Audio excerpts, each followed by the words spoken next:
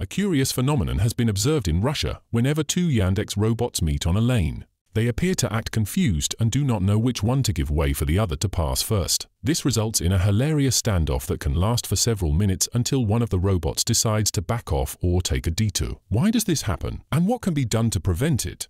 According to Yandex, its autonomous delivery robots are built on the same state-of-the-art self-driving technology. They use cameras, radar, and LiDAR systems to scan their surroundings in 360 degrees, and software that runs machine learning and artificial intelligence algorithms to determine what the input is.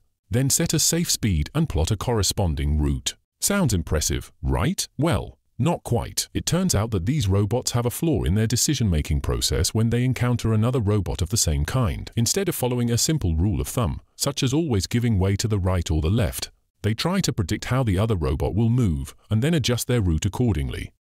However, this can lead to a deadlock situation where both robots expect the other to move first and end up blocking each other's path. This is similar to what happens when two human drivers or pedestrians meet at a narrow passage and hesitate to go first. The difference is that humans can communicate with each other using gestures, eye contact, or words, and resolve the situation quickly. Robots, on the other hand, lack these social cues and have to rely on their sensors and algorithms, which may not be enough to break the impasse.